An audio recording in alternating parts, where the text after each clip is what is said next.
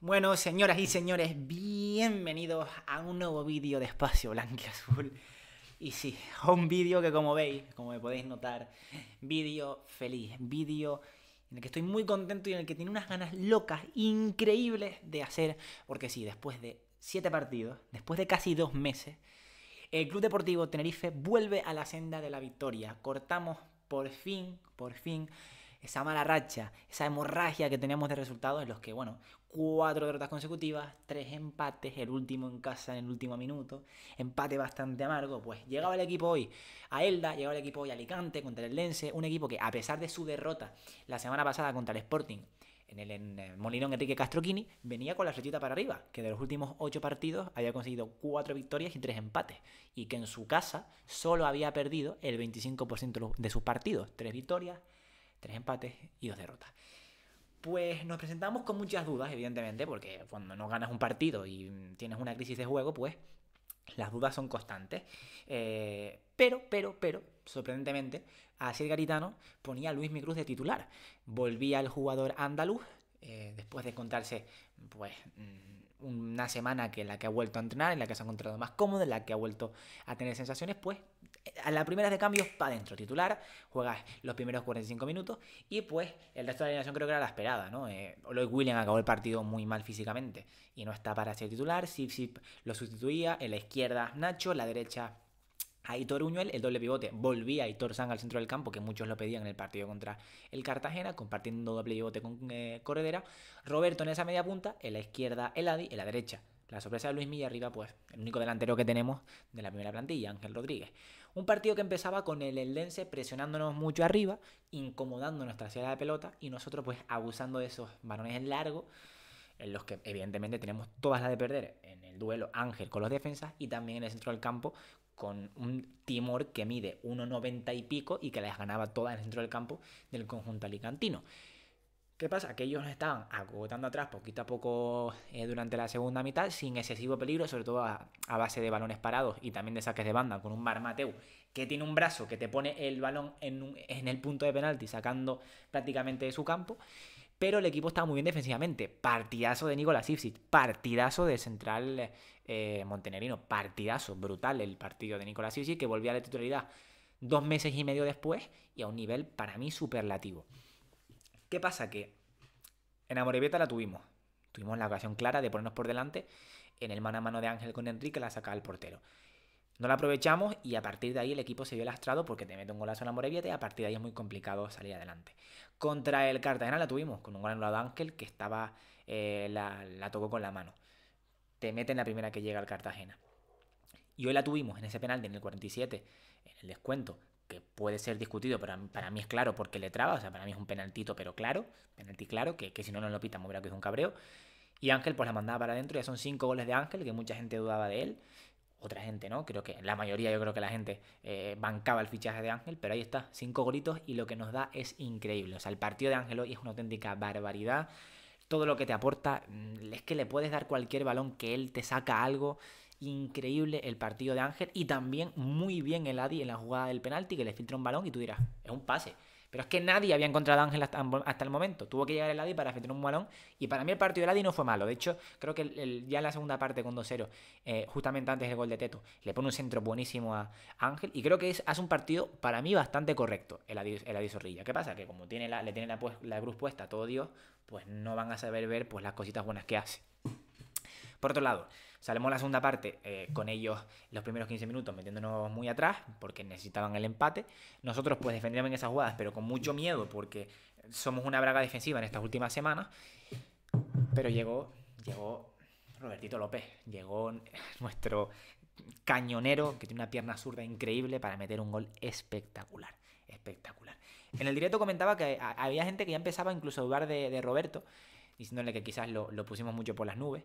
Evidentemente, cuando tú pones a alguien por las nubes, pues puede que no cumpla las expectativas, pero si tú quieres creer a la gente que pone a Roberto aquí, pues créela. Pero para mí Roberto es un jugadorazo, que lleva un par de semanas que no está bien físicamente y que ha bajado el nivel en lo deportivo, evidentemente. Pero dudar de Roberto López, que lleva ya no sé cuántos goles en liga, que aporta muchísimo, que la última jugada, la jugada clara, la primera parte contra Cartagena, viene después de una muy buena combinación con Ángel, que para mí es un jugador que se sabe situar en el campo perfecto, que tiene un golpeo de la hostia.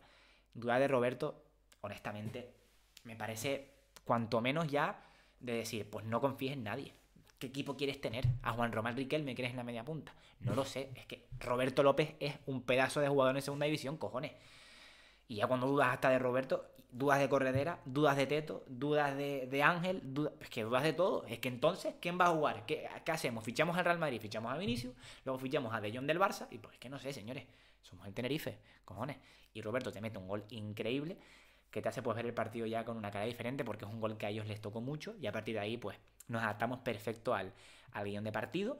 Y, y, de hecho ellos no nos generaron peligro, nosotros pues con ese gol de Teto, que tampoco quiero dar un speech con Teto, solo quiero decirle a Teto, que si ve este vídeo evidentemente no lo va a ver, decirle Tetito, me alegro por ti, porque creo que eres un pedazo de jugador que no le ha pasado bien esta temporada, que ha pasado por, por etapas y está pasando por etapas en las que tiene una cierta desconfianza que te falta creerte el pedazo de jugador que eres y que evidentemente están influenciando ese run run y esa, esa presión que, que, surge en el entorno en base a tu figura.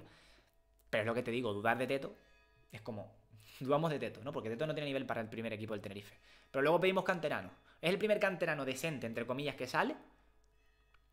No tiene nivel, pero luego pedimos canteranos y pedimos a la San y pedimos a Belsa y pedimos al este, pedimos al otro. Y luego no, no porque el equipo no, el Tenerife no es, no es equipo de cantera señores, pues habrá que cuidar a los nuestros. Y evidentemente Teto le falta mucho por crecer, le falta desencadenarse, le falta ser ese jugador que verdaderamente es, porque es un pedazo de jugador, es que es un pedazo de jugador, que tiene golpeo, que se sabe asociar, que sabe girar muy bien el cuerpo, que gira muy bien las jugadas, que tiene llegada. Cojones, me cago en Dios. Que evidentemente, si lo comparas con Pedri y con Moleiro, pues tenemos la de perder. Pero es que Pedri y Moleiro son datos anómalos en las canteras. Es muy complicado sacar. No me refiero a las canteras de la playa de Las Palmas que yo me imagino ya muchos aquí que es muy complicado sacar jugadores de tanto, de tanto talento, pero que tenemos un pedazo de, diamante en nuestra cantera que tenemos que pulir. Y sí, Teto es un diamante. Teto es un pedazo de jugador. Evidentemente no para jugar en el Barça como está Pedri, pero es un diamante para jugar en segunda división y para jugar en la plantilla del Tenerife. Porque queremos, eh, queremos aquí, no sé, que, que, rompan ya la puerta y que sean literalmente los mejores jugadores de España. Y tío, por favor, es un jugador que está creciendo, un jugador que hay que darle todo el cariño del mundo. Y tú pensarás, pero es que hay que alegrarme porque es de aquí. Pues no, pero precisamente al de aquí tenemos que darle especial cariño para que la gente que está debajo y unos pibes que puedan tener potencial vean que, aquí la gente se le quiere a los canteranos y que van a llegar al primer equipo con ilusión. Pero que tú imagínate, un canterano que dice, coño, es que sale a jugar, que es canterano, que es donde me veo reflejado y la gente le está pitando, le está insultando. Pues más presión para los pibes de la cantera, desde mi punto de vista, oígase. Pero bueno, victoria, victoria que la necesitamos como el comer. Me alegro mucho por los jugadores, por Teto, por el, por, también por el Adi, que creo que ha hecho un partido bastante correcto, por Roberto, por Ángel y por el Mister Garitano. Esto no quiere decir que vayamos a ganar al Corcón. No quiere decir que ya el equipo es la hostia, porque ya me lo estoy viendo ya. Que o blanco o negro, no. Tranquilidad, humildad. Ahora tenemos que jugar contra el Depor, rezar que no se nos lesione nadie, intentar ganar el partido y ya pensar en el Alcorcón, que va a ser un partido muy importante, lunes. Y dicho esto, Espero que la gente que se puso a echarle mierda a Garitano por decir que el punto contra el Cartagena, entre comillas, es bueno, pues sepa valorar que ese punto nos hace sumar 4 de 6 y no 3 de 6. Espero, espero que lo entiendan. Yo ya es que no sé ni cómo hablar porque a lo mejor yo sé que a mucha gente no, soporta mi discurso, le puedo caer mal, no sé qué, pero espero que entiendan que Garitano se refiere a que, bueno, empatamos en el 93, sacamos un punto y ahora con esta victoria pues sumas 4 de 6, que al menos es más que 3 de 6. Porque ese equipo colista que tan mierda es, le acaba de ganar ahora mismo al Sporting 1-0 en su casa. Un Sporting que está con la flechita para arriba y que probablemente sea el mejor equipo de la competición. Para que se haga una idea. Para que pongamos los pies en el suelo. Así que remar todos juntos, a ver si conseguimos levantar la cabecita, a ver si conseguimos coger una buena rachita y sobre todo a ver si conseguimos cerrar el año con que vuelvan los lesionados, pues consiguiendo los máximos puntos posibles. Victoria importantísima, victoria de mérito. Y nada, señores, un saludo, les quiero mucho. Viva el Club Deportivo Tenerife, cojones.